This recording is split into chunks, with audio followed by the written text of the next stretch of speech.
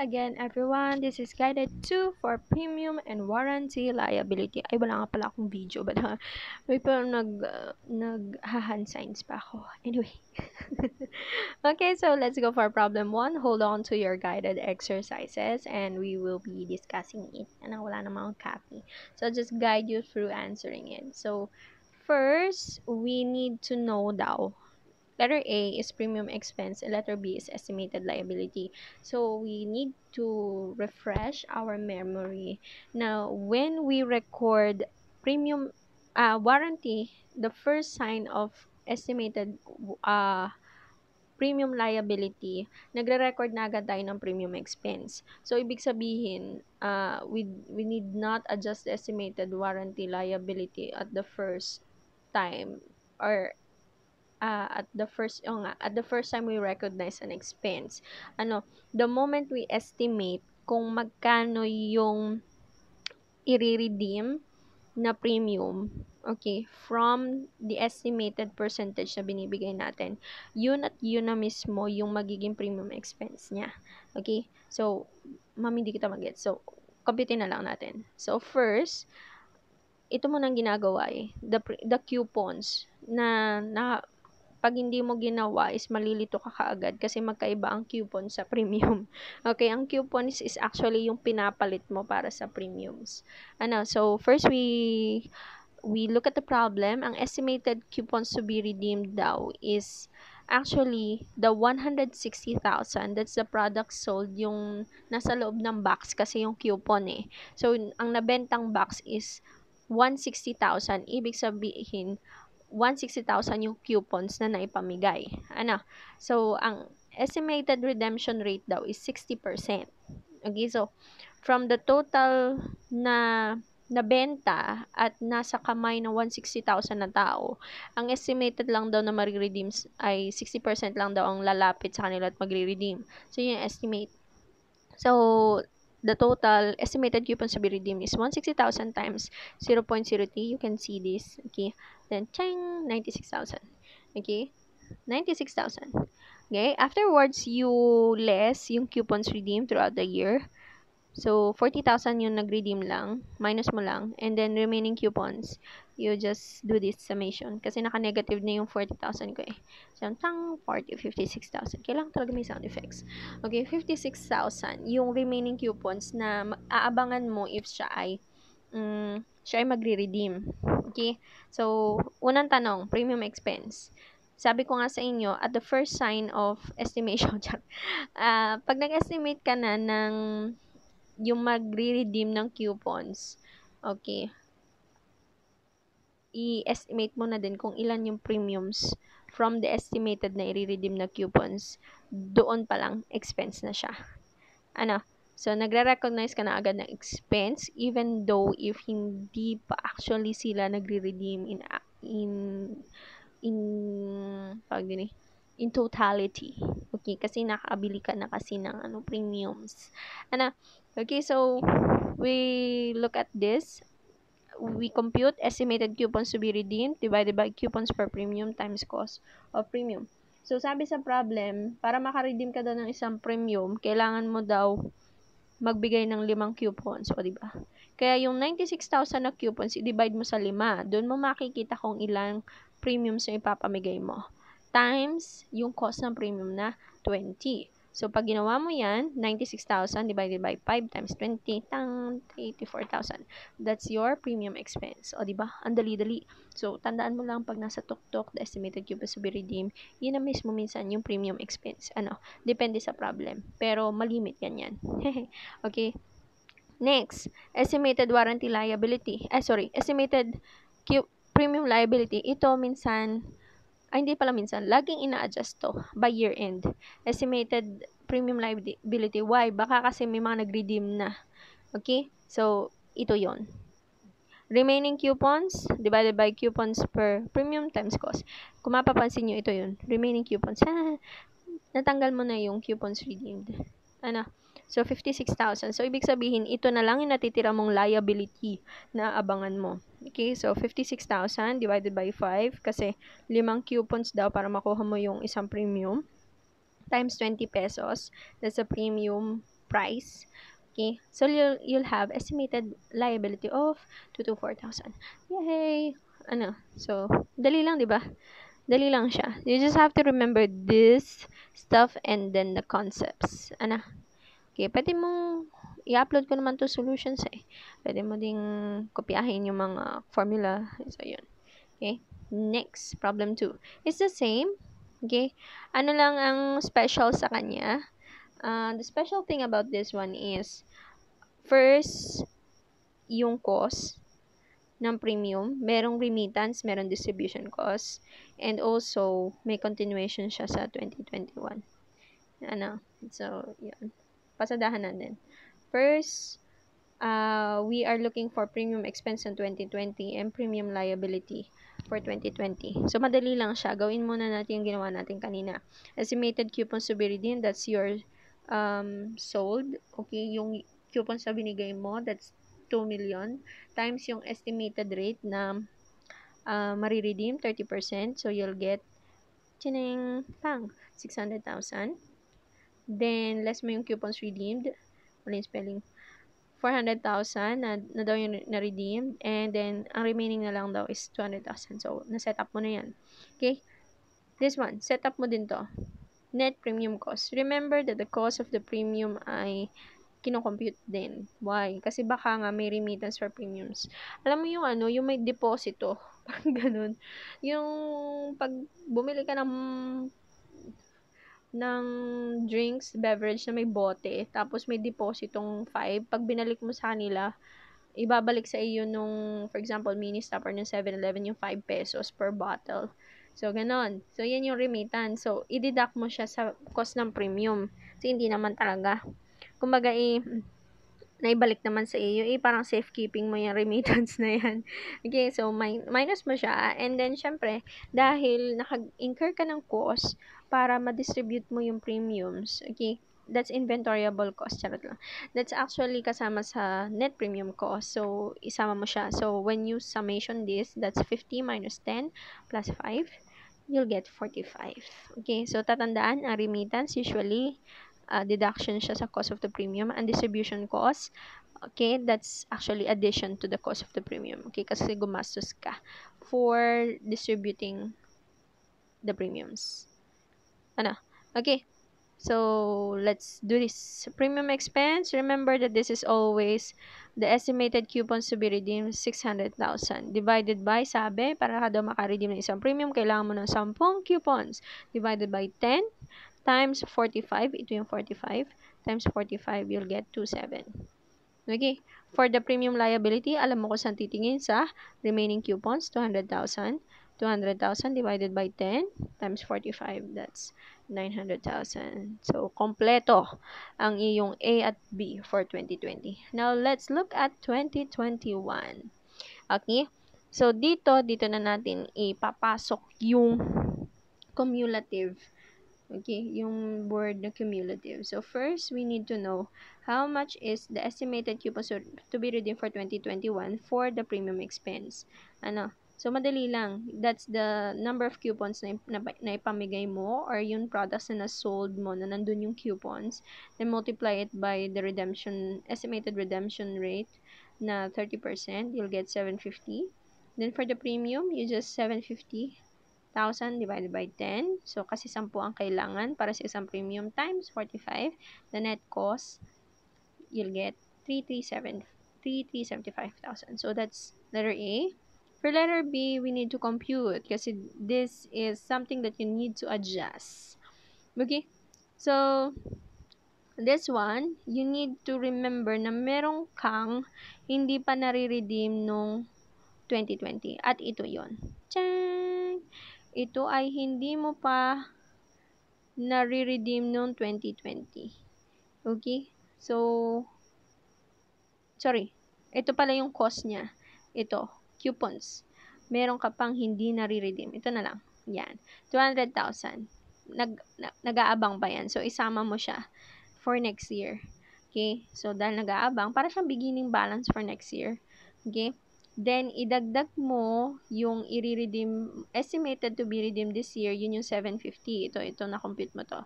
Again, this was last year's remaining. So, naging beginning balance siya ng estimated liability account. And then, this one is the addition for this year. Then, syempre, i-minus mo yung redeemed na noong 2021. We were given 700,000. Okay, nung na-redeem na niya noong 2021. Okay, So, your total remaining coupons is 250,000. Okay? So, pwede mo nang compute ng premium liability kasi may remaining coupons ka na for 2021. Premium liability is computed as 250,000 divided by 10 times 45. And, pag ginawa mo yan, lalabas si kumaring 1,125,000. Okay? So, di ba? Andali lang. If you follow, if you follow a certain way of answering, the problem and you're not memorizing, I know you have practical accounting 1 books, the reviewers. Alam ko meron kayo niyan. Kasi, syempre, for practice, ano, the danger of it is nagme-memorize kayo ng sagot. Okay, please do not memorize. Please, please know how, bakit, bakit nangyari, bakit dinivide, bakit minultiply, Okay? Bakit? You always look for the why. Pag hindi mo mal- mahanap yung why, pwede mong itanong sa akin. Ano? Kasi when you look for the why, madali yung how. Okay? When you, again, when you look for the why, bakit, madali yung paano. Ano? So, yan na. That's a word of caution from me. Kasi syempre, nanggaling na ako sa posi- position nyo as a student, uh, ganyan ang gawain ko dati, nagsasolo ako ng sagot. Pagdating sa exam namin, mental block ako. Kaya, yun. Pero when you follow a certain way of answering it, hindi ka maliligaw. Okay? So, yun. Wala lang. Okay? Problem 3. Problem 3 is for the customer loyalty program. Okay? So, ito'y bago. Wala ito sa mga lumang libro. Ang mga lumang libro ay lumang standard. This is a new standard. So, let's do this. Sabi, uh, sabi sa ating standard, when you are computing for customer loyalty program, you are actually using IFRS 15. So, allocation of the transaction price, first we get the allocation ratio from the standalone selling prices. Mama yung standalone given sa problem. So, meron ka daw sa problem na product sales na 9 million. Okay? And then you have the standalone selling price per point na 100 pesos per point. Eh, meron ka daw 10,000 points times 100, that's 1 million, i-add mo lang siya. From this, okay, from the stand-alone, yung, sorry, this is actually your stand-alone selling prices. Ano, ma'am, kahit po ito yung product sales, yes, stand-alone siya, stand-alone siya. That's 10 million, okay, you get the ratio. How do you get it? This is your numerator for the product sales and the total is your denominator. So 9 million divided by 10, you simplify 9 over 10. Okay? Then for one for the points, you get the allocation of 1 million divided by 10 million, 1 over 10. Okay? Saan ginagamit? You have to allocate the 9,000 sales kasi ang kon ang konsepto is nasa loob mismo ng total sales yung para sa points. Okay, without considering the standalone selling prices. Okay, so let's go. Let's do this. So you use the ratio 9 million times 9 over 10. This one for the product sales. Okay, ito yon. You'll get 81 for the product sales. And for the points, you'll get 9 million times 1 over 10. Okay. 900, you total it, it's 9 million. So, yun, yun, yun, yun naman talaga yung pumasok sa, sa cash register, yung 9 million. Ang gusto natin malaman is how much from the 9 million is para sa product sales and how much is for the points. Ano? So, yan. Now, we compute for the revenues. 2020, 2021, and 2022. So, mahaba-haba ang computation to. Let's first look at 2020. Okay? Anong una mong gagawin? You need to know how much is the expected points to be redeemed in 2020. So, sinabi naman sa problem, the estimated is 8,000. Okay? Next, you look for the price per point. Okay, so 900,000. This one, dito ka titingin. Ang points mo, ang points mo daw is 900,000.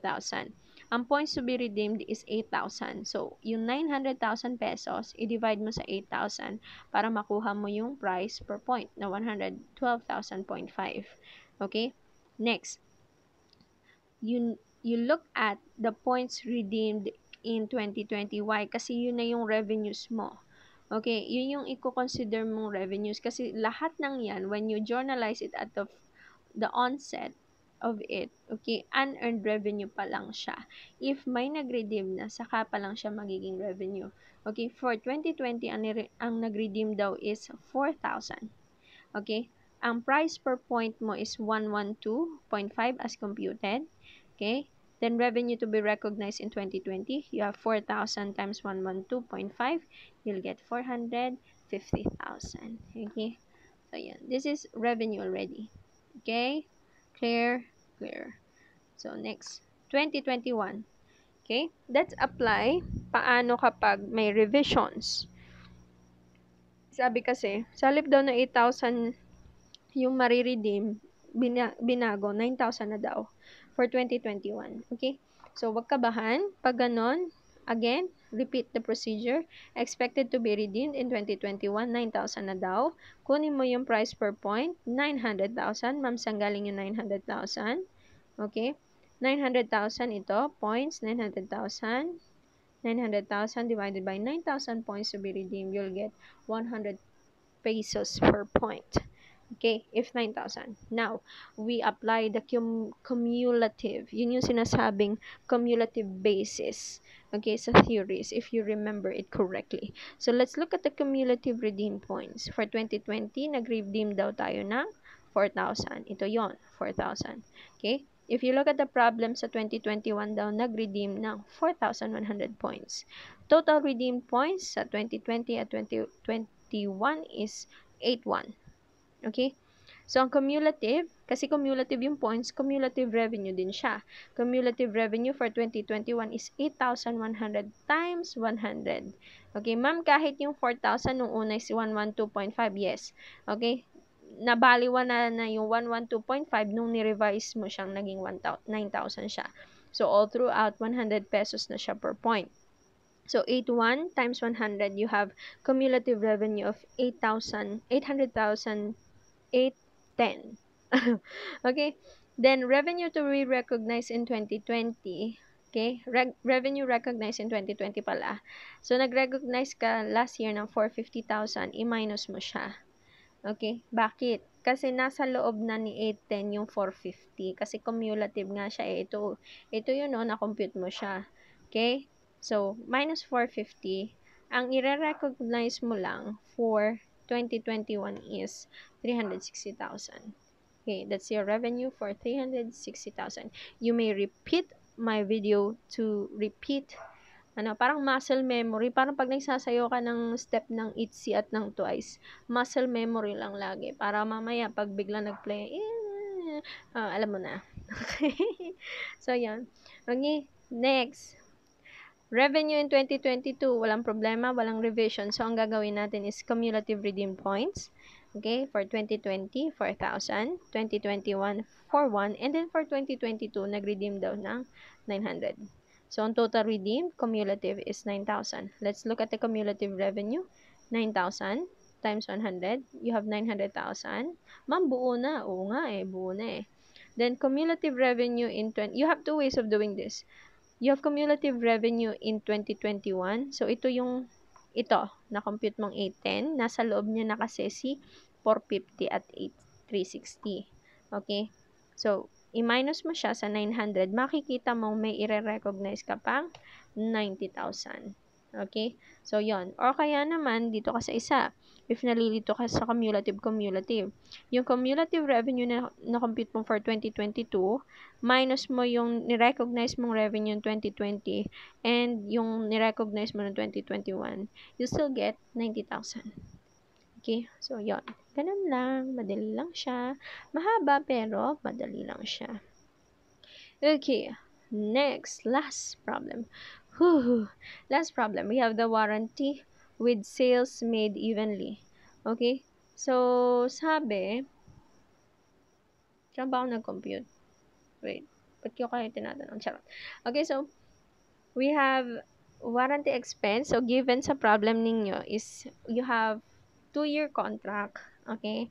And then, for the first year con- contract service daw is 4% yung estimated. And then, for the second is 10%. Okay?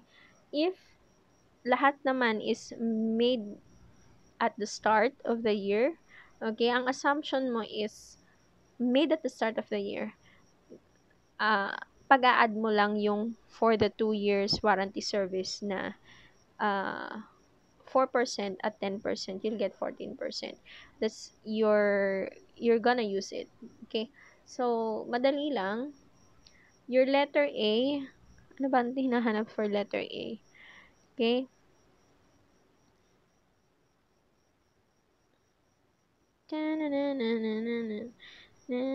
Okay. Ang hinahanap for letter A is your estimated warranties for warranty li hindi. Warranty expense for 2021. Ang gulo ni Ma'am Kim. Ayaw pa kasi tingnan yung guided exercise. So, you have warranty expense for 2021 if I'm not mistaken. Ano, at saka estimated warranty liability for 2021. Okay, so sorry, sorry. So, madali lang siya computein. So, you just need to estimate yung mga warranties na uh, naibigay, ah, na alam mong pupunta sa'yo. So, you were given 6 million. Okay? 6 million. And then, yun nga, yung 4% plus 10% na estimated mo for warranty repairs. Pagsamahin mo lang, multiply mo sa 6 million. Okay? Which is the product sales. And then, you'll get a warranty expense for 2021 na 840,000. Okay? Ganun lang siya kadali. Pag warranty expense. Okay? So, yan even if wala pang actual, that's the accrual method eh. Even if wala pang actual, you need to recognize na the expense. Okay? Next. Ayan, nagkaintindihan din kay Ma'am Kim. Next, we have estimated warranty liability. I have made a T account. Okay? This side, this these are actually, kung mapapansin nyo, this is the warranty expense. Ano? So, uh, as we recognize the expense, you also recognize the estimated warranty liability. Okay, so for 2020, you have 700,000 from the sales na 5 million times 14%. So, 14% pa rin yung estimated warranty repairs na pupunta sa'yo. 700,000. Then, we have computed kanina 840,000 for 2021. On the other side, on the debit side, you just look at the actual warranty repairs. Yun talagang lumapit sa'yo. Deduction sa, sa warranty liability kasi hindi na siya liability mo kasi na-perform mo na eh. Ano, kaya nga siya actual repairs na.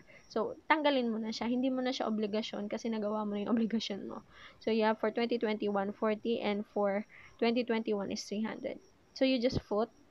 So, pag finot mo to for 40 ang debit, for, for 1 million 540 ang credit and then you cross foot pag cross foot mo mas malaki ang credit you have 1,100,000 your estimated warranty liability for 2021 okay so yeah yeah yeah this is actually pretty easy pretty easy kapag isa lang yung date or you have estimated that the warranty repairs is for the annual year. Okay, paano kung yung problem B? may bumili daw, sales made, evenly. May bumili ng January 1, may, bumi, may bumili nung July. Okay, so, medyo mahaba-haba siyang computation. I was looking for uh, the warranty expense. So, ganto. For 2020, you need to remember na 2-year yung warranty. So, for every product sold, okay, every for example, oh nga, for every product sold, may 2-year warranty na magkaiba. You have 4% and yung isa is 10%. Okay? So, let's look at the 2020 sales. Dalawa siya. Isang 2.5 na at 4% at isang 2.5 at 10%. Remember na may bumili ng January at may bumili ng July. Yung January to yung January, buo siyang isang taon. January to December, that's 12. Pero yung bumili ng July, yung kanyang warranty period is 6 months lang for that current year.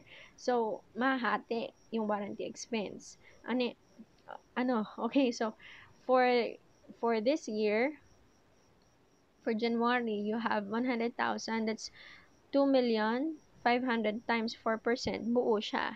Hindi ko siya hahatiin kasi from January siya.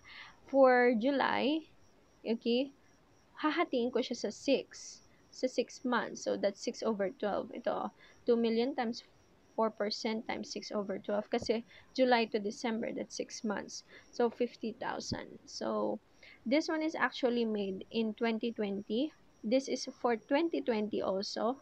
But this one, yung kalahati niya, next year na siya, uh, considered next year siyang um, estimate. Kasi, uh, July to December lang yung una. July to December 2020. Ano.